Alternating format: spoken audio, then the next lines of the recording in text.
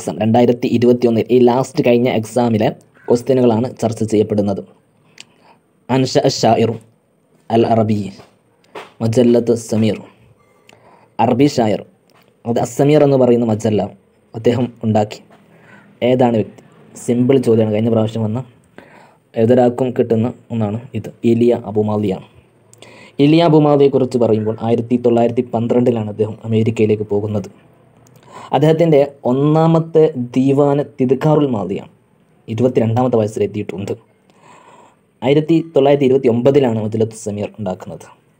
പിന്നീട് ഇദ്ദേഹവുമായി ബന്ധപ്പെട്ട ഒരു പ്രധാന ജനിക്കുന്നത് ലബനാനിലെ മഹീദസത്ത് എന്ന് പറയുന്ന സ്ഥലത്താണ്. ലബനാനിലെ മഹീദസത്ത് എന്ന് പറയുന്ന സ്ഥലത്താണ് ജനിക്കുന്നത്. ന്യൂയോർക്കിലാണ് മരണപ്പെടുന്നത്. ഇദ്ദേഹം ഇസ്കന്ദറിൽ പോകുന്ന സമയത്ത് ഉൻതുവാൻ ജമീൽ എന്ന് പറയുന്ന ഒരാളെ കണ്ടുമുട്ടുന്നുണ്ട് എന്ന് നമുക്കറിയാം.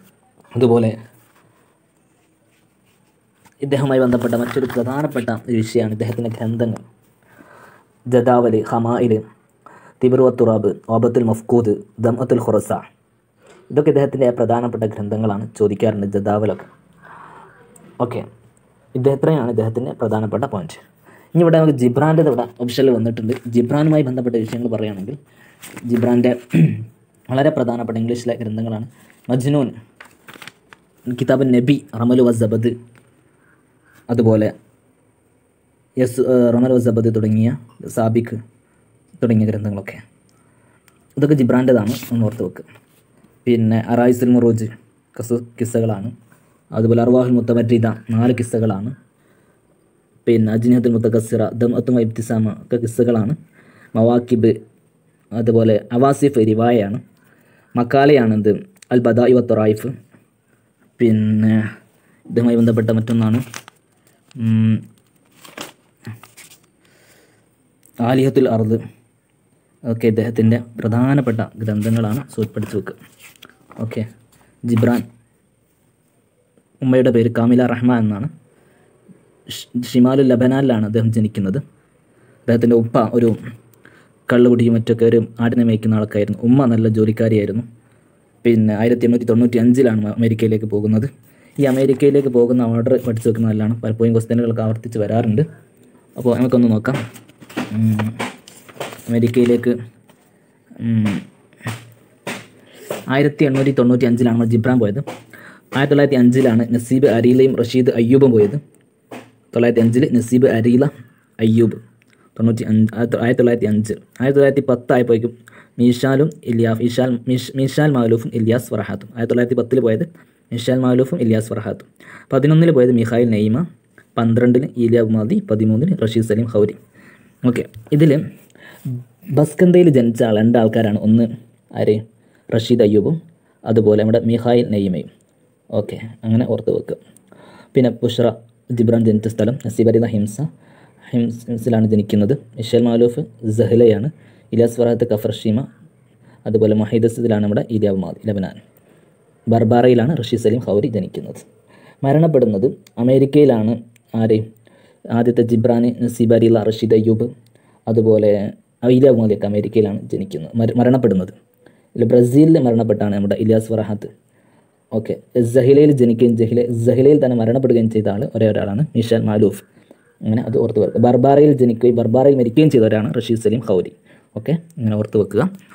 അടുത്ത ക്വസ്റ്റ്യൻ നമുക്കറിയാം ഇമാറത്തുൽ അറബിയ ഏതൊക്കെ രാജ്യങ്ങളാണ്? എല്ലാവർക്കും അറിയുന്ന question Abu Dhabi Dubai Abu Dhabi Dubai Ras al Khaimah Sharjah Ajman Fujairah Umm al Quwain ഇതെല്ലാവർക്കും അറിയുന്ന ഒരു ക്വസ്റ്റ്യനാണ്. ഓക്കെ. അടുത്തൊരു ക്വസ്റ്റ്യനിലേക്ക് പോവാം.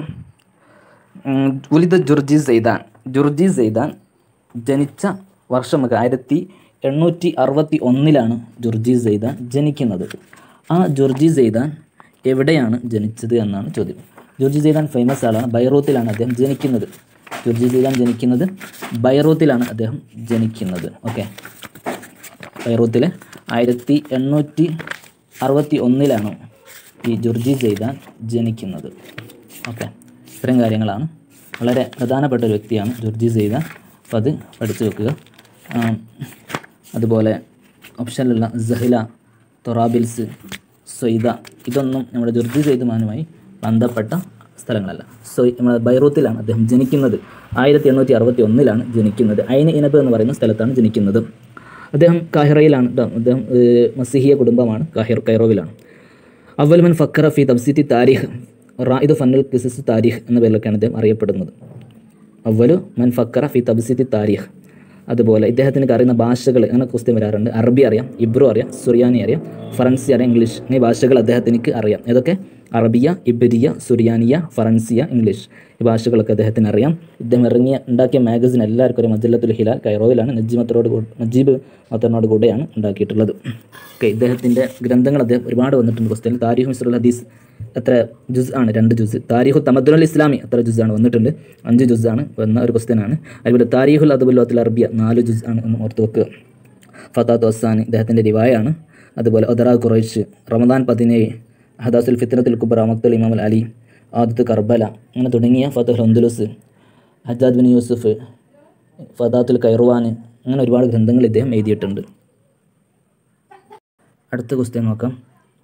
ഷായർ അബ്ബാസിയൻ ഖാന ഷദീദ് തൊയറിയ ഫിയ ഇത് വളരെ പ്രധാനപ്പെട്ട ഒരു ക്വസ്റ്റ്യനാണ് ഷായർ അബ്ബാസിയായ കവിയാണ് ഇദ്ദേഹം.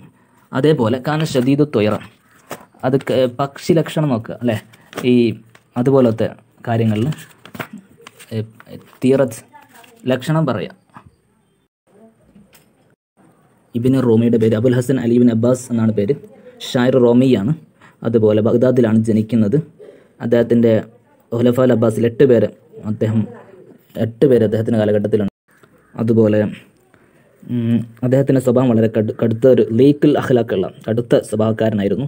ഷദീദു തീറ തഷാമിന്റെയും പക്ഷിലക്ഷണമൊക്കെ നോക്കുന്ന ഒരു അങ്ങനത്തെ ഒരു വ്യക്തിയായിരുന്നു. അദ്ദേഹം പറയാറുണ്ട് നബി സല്ലാ അലൈഹി സ്വലം ഖാന യുഹിബുൽ ഫായില വൈക്കുർ വൈക്കുർഹു തീറ എന്നൊക്കെ അദ്ദേഹം പറയാറും ഉണ്ട് ഓക്കെ അദ്ദേഹം റൂമിൽ അബു റൂമിയാണ് ഉമ്മ ഫാരിസിയാണ്. പിന്നെ ഇദ്ദേഹം കൊല്ലപ്പെടാനുള്ള കാരണം Abul Hasan Qasim bin Ubaid എന്ന് പറയുന്ന മുത്തദത്തിന്റെ മന്ത്രി അബുൽ ഹസൻ കാസിമിൻ ഒബൈദുള്ളയാണ് അദ്ദേഹത്തിന് വിഷം കൊടുത്തതാണ്. അങ്ങനെയാണ് ഇദ്ദേഹം മരണപ്പെടുന്നത്. ഇതാണ് അദ്ദേഹത്തിന് മരണത്തിലേക്ക് എത്തിച്ചിട്ടുള്ളത്. ഓക്കെ ഇദ്ദേഹത്തിന്റെ കസീതയുണ്ട് ഇബിന് റോമി അബി സഹലിനിലേക്ക് മുന്നിട്ട് നൂറ്റി മുപ്പത് വയത്തുള്ള കസീദ അദ്ദേഹത്തിന് ഉണ്ട്. ഓക്കെ ഇത്രയൊക്കെയാണ് ഇബിന് റോമിയെ കുറിച്ചിട്ട് പറയാനുള്ളത്. നംഷൻ അബുൽ അലാൽ മഹദി നമുക്ക് അഹമ്മദ് ബിൻ അബ്ദുല്ലാഹിൻ സുലൈമാനാണ് പേര്. ഇറത്തു അമാലാണ് ജനിക്കുന്നത്. അദ്ദേഹം ഹക്കീം ഷുറ ഷായറുൽ ഹുക്കമ ഫൈലസഫുൽ അറബ് ഷായറുൽ ഫലാസഫ എന്ന പേരിലൊക്കെ അറിയപ്പെടുന്നത് പതിനൊന്നാമത്തെ വയസ്സിൽ പാടാൻ തുടങ്ങിയിട്ടുണ്ട്. അദ്ദേഹം അദ്ദേഹത്തിനിക്ക് റഹീനുൽ മഹബിസ് എന്ന നിലയ്ക്ക് ഉണ്ട്. പിന്നെ അദ്ദേഹത്തിന്റെ ഒരു കോട്ടാണ്. അന അഹമ്മദുല്ലാഹു അലൽ ഒമ്യ കണ്ണ് കാണാത്തതിനെ ഞാൻ സ്തുതിക്കുന്നു എന്ന് പറയുന്ന വ്യക്തിയാണ്. അതുപോലെ ഒരുപാട് സുഹൃദ് കാണിച്ചവരാണ്. വിവാഹം കഴിക്കൽ ഹറാമാണെന്ന് പറഞ്ഞ വ്യക്തിയാണ്. അതുപോലത്തെ ഒരുപാട് അദ്ദേഹം കാണിച്ചിട്ടുണ്ട്. സുഹൃദിനെ പോലത്തെ ഭക്ഷണം കഴിക്കുന്നതിലൊക്കെ. ഒരുപാട് ഗ്രന്ഥങ്ങൾ എഴുതിയിട്ടുണ്ട്. എഴുപതോളം ഗ്രന്ഥങ്ങളുണ്ട്. അതിലൊന്നാണ് ഷർഹുൽ ലസു- ലസുമിയാത്ത്. അതുപോലെ താജുൽ ഹുറ അങ്ങനെ ഒരുപാട് ഗ്രന്ഥങ്ങളുണ്ട്. അബിസുൽ വലീദ് റിസ ഡിസാലത്ത് വൽ ഉഫ്രാൻ പിന്നെ പ്രധാനപ്പെട്ട മാത്രമേ ഞാൻ പറയുന്നുള്ളൂ. മുത്തനബിന്റെ മുത്തനബിന്റെ പേര് Abu Tayyib Ahmad bin al Hussain എന്നാണ്. കുഫയിലാണ് ജനിക്കുന്നത്. ഷായറുള്ളത് കത്തൽ ഹുഷീർ എന്നാണ് അദ്ദേഹത്തെക്കുറിച്ച് കവിത അദ്ദേഹത്തെ കൊല്ലപ്പെടുത്തി. അദ്ദേഹം ഒമ്പതാം വയസ്സിൽ കവിത തുടങ്ങിയിട്ടുണ്ട്. ഒരു കവിത കാരണമാണ് ഇവർ മരണപ്പെടുന്നത്. എല്ലാവർക്കും അറിയാം സംഭവം. അതുപോലെ ഹജ നമ്മളെ ലബത്തുബിന് യസീദ് അസദിയാണ് അദ്ദേഹം ഹജായ് ചെയ്തത്. പിന്നെ അദ്ദേഹം ഹജായ് ചെയ്തതിനു ശേഷം അദ്ദേഹത്തിന്റെ ഫാത്തിഖ് ബിനു അബി ജഹൽ അസദിയെ കണ്ടുമുട്ടി. അത് ലബത്തുൽ നേരത്തെ പറഞ്ഞ ലബത്തുൽ യസീദിന്റെ ഹാലായിരുന്നു. അദ്ദേഹം ഇദ്ദേഹത്തെ കാണുകയും യുദ്ധം ചെയ്യുകയും അദ്ദേഹം ഓടിപ്പോ നേരത്ത് അദ്ദേഹത്തിന്റെ കൂടെയുള്ള ഉലാം അടിമ പറഞ്ഞാൽ ഖൈർ വല്ലയിൽ മുത്തനബിയുടെ ഷീർ പാടുകയും അദ്ദേഹം അവിടെ ഓടിപ്പോകാൻ നിൽക്കുകയും ചെയ്ത സമയത്ത് കൊല്ലപ്പെട്ട ഒരു കവിതയും കൂടിയാണ് അൽ ഖൈർ വല്ലയിൽ വൽ ബൈദ താരിഫുനി എന്നുള്ളത്. പിന്നെ ഇത് ഒരുപാട് ആൾക്കാരെ മധു പറയുകയൊക്കെ ചെയ്തിട്ടുണ്ട്. അതൊക്കെ കാശ് കിട്ടാൻ വേണ്ടിയിട്ടും മറ്റൊക്കെയാണ്. ഷാ നാസ് ആലി ദുനിയ എന്ന പേരിലൊക്കെ അറിയപ്പെടുന്നുണ്ട്. കാഫറിൽ അക്ഷതിയെ മധു ചെയ്തിട്ടുണ്ട്. പിന്നെ സെയ്ഫ് ദൗലയെ ഒരുപാട് മധു പാടിയിട്ടുണ്ട്. അങ്ങനെയൊക്കെ ഒരുപാട് കാര്യങ്ങൾ ഇദ്ദേഹത്തെക്കുറിച്ച് പറയാനുണ്ട്. ഓക്കെ. പിന്നെ പ്രധാനപ്പെട്ട വിഷയങ്ങൾ ഞാൻ പറഞ്ഞിട്ടുള്ളൂ. നമ്മൾ ബഷാർ ബിൻ ബുർദാണ്. ബഷാർ ബിൻ ബുർദ് നമുക്കറിയാം ബഷാർ ബിൻ ബുർദ് എന്ന് പറയുന്നത് ആദ്യത്തെ നമ്മളെ തൊണ്ണൂറ്റി ആറിൽ ജനിച്ച് നൂറ്റി അറുപത്തെട്ടിൽ മരണപ്പെട്ട ആളാണ്. ബഷാർ ബിൻ വർദ് ബസ്രയിലാണ് ജനിക്കുന്നത്. മൊറീസ് എന്നാണ് ലക്കബ് അമ്മയാണ് ഫാരിസിയാണ്. പിന്നെ ഇദ്ദേഹത്തിന്റെ അത് അറിയപ്പെടുന്നത് ഹദ്ദുൽ ഔസദ് ബൈന ഷീറുൽ ഖദീം വൽ ഹദീസ് എന്ന പേരിലാണ് അറിയപ്പെടുന്നത്. പത്താമത്തെ വയസ്സിൽ കവിത തുടങ്ങി എന്ന് പറയപ്പെടുന്നുണ്ട്. പിന്നെ കബീഹുൽ മുന്തറാണ് കാണാൻ കോലല്ലാത്ത ഒരാളാണ്. ഇദ്ദേഹത്തിന്റെ ആഷിക്കത്താണ് അബ്ദത്ത് എന്നും കൂടി ഓർത്ത് വെക്കുക. ഓക്കെ ഇന്നത്തെ വീഡിയോ കഴിഞ്ഞു. ഇഷ്ടപ്പെട്ടാൽ ലൈക്ക് ചെയ്യുക ഷെയർ ചെയ്യുക. സബ്സ്ക്രൈബ് ചെയ്യാൻ മറക്കരുത്.